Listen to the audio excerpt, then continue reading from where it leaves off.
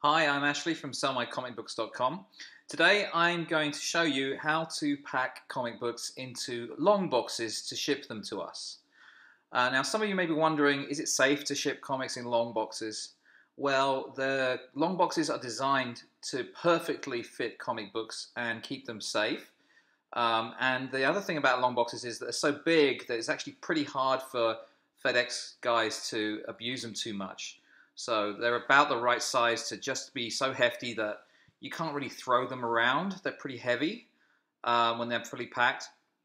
But there are some precautions you need to take, and I'm going to show you now exactly how to prepare a long box of comic books for shipping.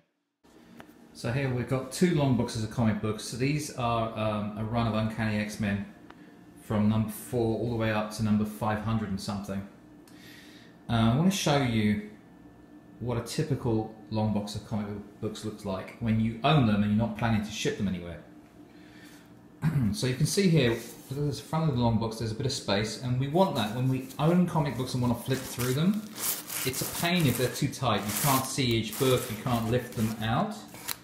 Um, so when we're storing comics, we usually give it a little bit of space. But this isn't ideal for shipping, because you can imagine, although these boxes are pretty heavy, you can shift them. And if the books can move around inside like that, that's undesirable. It can get it can damage their spines. Uh, in extreme cases, the, the corners can get caught on the edge of the boxes, and you can damage the corners. And so, if you're shipping stuff in a long box, this is pretty much how you want it to look. See the difference. See how tightly they're packed in. And a good test here is if it's slightly difficult to pull them out of the stack. You see how much I had to work there? Or as a Doctor Who comment, that's cool. Um, I had to pull, I had to put some effort in to bring that up. Now, the other precaution you take when you're packing long boxes of comics is to put the most valuable comics towards the center and put cheaper stuff at the ends. So what I did with this one was I took some of the 90s uh, X-Men and some of the old Doctor Who stuff I had lying around needs to go back to base. It's basically Donovan stuff at the ends. That way, although we're going to tape over these handholds, if something does pierce the box and through the handhold, like a, I don't know, I don't even know if FedEx uses forklifts, probably not for stuff like this, but just in case something happens, the books, the books at the end you don't care so much about. The ones in the middle are kind of protected by all the ones at either end. So I'm going to show you exactly what we're going to do next. Now, all long boxes are not created equal. Um, you can see the walls of the long box here, they, they're sort of corrugated cardboard. Sometimes you can get super heavy duty long boxes which are uh, double walled for extra protection, but these are just random ordinary ones. I still think I'm going to risk shipping this Silver Age um, to modern age X-Men run back to base in this long box because although I could brick these up and, and so on, I, I don't have the supplies to hand and long boxes protect them pretty well.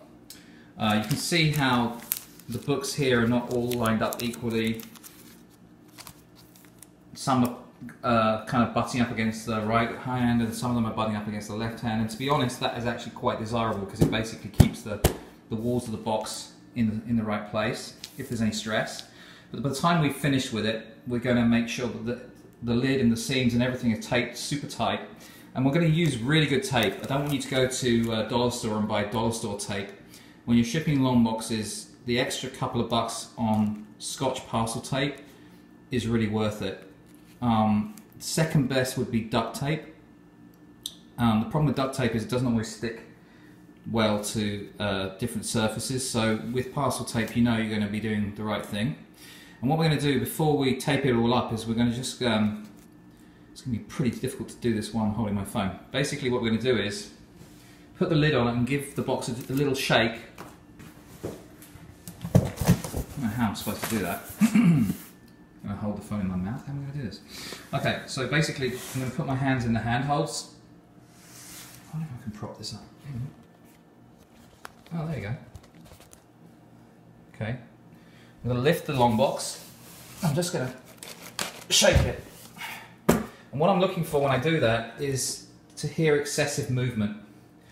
I could feel a tiny bit of movement, but it's not enough that it's going to bother me. If I shook this box here with all this space, and you can see how easy it is to move around, this would be flopping around like dead fish in here on the way back to base, and that's when you're going to get damage. Um, now, you might be thinking, okay, well, I've got a, one long box of comics to ship to you, and I've only got this many comics, what do I do? Well, there's a couple of things you can do.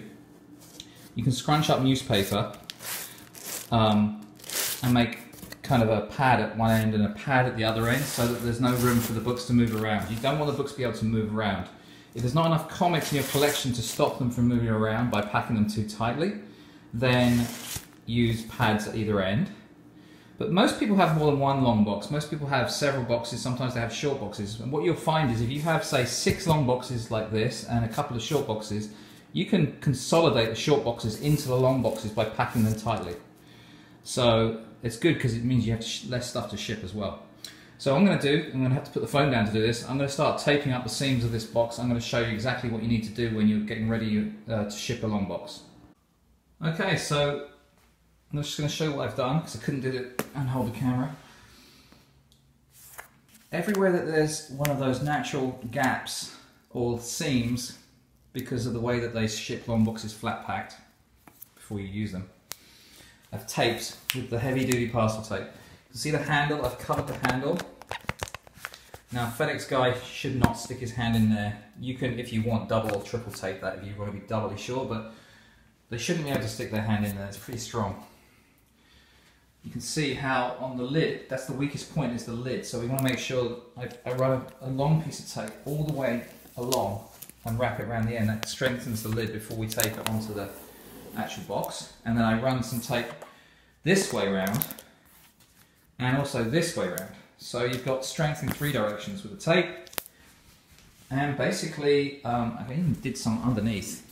Don't flip these, don't invert the boxes completely. Don't flip them onto the tops, but you can turn them onto their side slowly like that. And so you get to tape along this seam here too, which is also a weak point. And now moisture won't be able to get in there if it, if it rains when they're carrying it from one van to a, another or a plane to a truck or whatever. It should be okay. So you have taped along all these seams. And this is pretty, pretty strong. This box is strong already. It's now one big solid lump and we receive shipments like this all the time. I know you might be feeling a bit nervous about shipping a long box, but as long as it's tightly packed inside, you can't really shift anything inside by shaking it, and you do what I've done, use really good tape and tape all the seams and, and the holes and everything. This is a pretty bomb-proof way to ship us comic book collections. So all you need now is to take it to FedEx, get the FedEx label attached, and if you're shipping from Canada or overseas, they're going to give you customs documents to attach. They give you a little, like a plastic pouch. Um, but anyway, this is all good to go. And if you have any questions, please shoot us an email. Thank you very much.